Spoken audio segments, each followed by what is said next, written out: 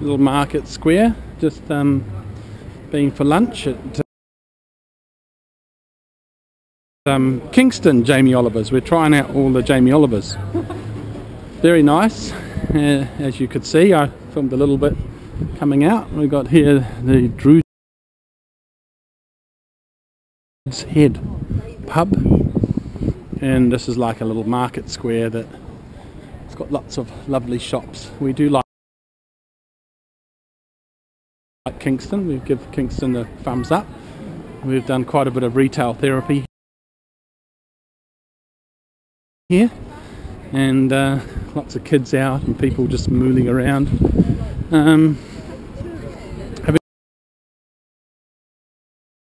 been in Paris and coming back to London, I think we both uh, agree that we prefer London. um, a lot more cosmopolitan and fun, and people are more laid back, and it's not as expensive as uh, Paris. Bananas are one pound a kilo. It's cheaper than oh, it's, yeah, it's cheaper than New Zealand. So, little glimpse of Kingston and these little market stalls we went into Marks and Spencers. That was uh, an eye opener. Salads and that were really cheap. We were quite surprised with the packaged food. Still a really good store. It's actually developed quite a lot over the years. Here he goes.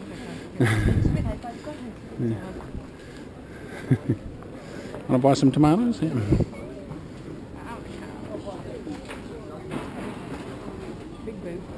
what? Big boots. I never noticed them. Oh. you went quiet all of a sudden. That's right. Yeah. It's like so obvious. Oh, You need to learn a better technique. All right. I will. All right.